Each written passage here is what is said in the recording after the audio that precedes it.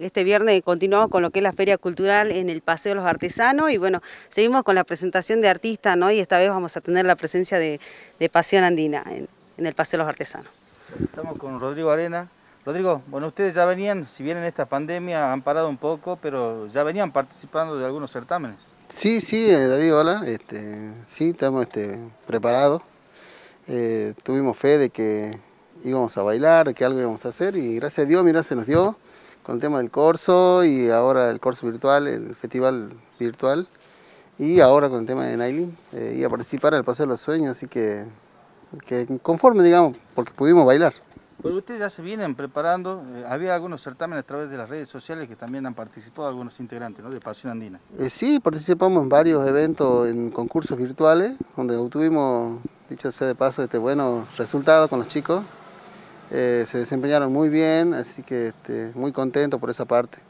Y bueno, y ahora este, a bailar acá en Perico, este, a demostrar lo, que los chicos este, aprendieron, se esforzaron estos, estos, meses, porque mira que estamos ensayando desde octubre, ¿no?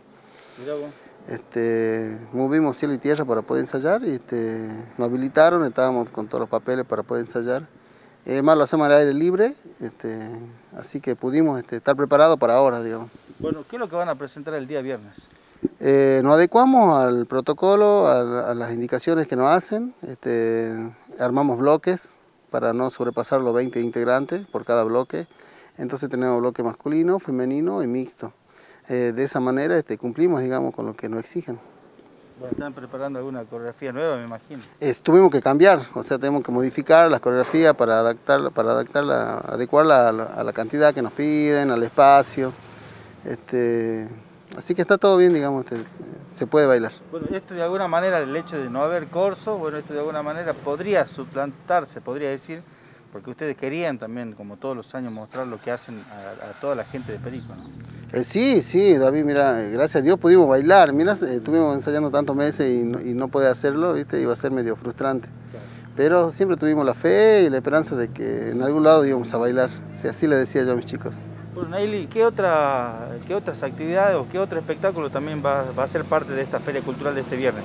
Bueno, también vamos a tener a ambos caporales del corazón que van a estar presentes ahí en el Paseo de los Artesanos, así que va a ser una linda tarde y noche porque arrancamos de las 17 horas con la Feria de Artesanos y Planta y a las 20 horas arrancamos con la presentación ¿no? de Pasión Andina y Zambos Caporales del Corazón y agradecer acá al profe que está presente y bueno, preparándonos todo para lo que va a ser mañana, invitar a la familia que se llegue hasta el lugar, ponemos silla para que estén cómodos y no se olvide siempre llevar el barbijo, el alcohol, para que nos, cuidemos ¿no? entre todos. Bueno, la gente que, o los artistas, en este caso como Pasión Andina, que se siguen sumando, ¿cómo pueden hacer para comunicarse con usted? Sí, me pueden buscar ahí en la Casa de la Cultura, se comunican a mi número que es el 3884-342-530 y vamos sumando para todos los viernes ¿no? que vamos a tener en este espacio cultural ahí en el Paseo de los Artesanos.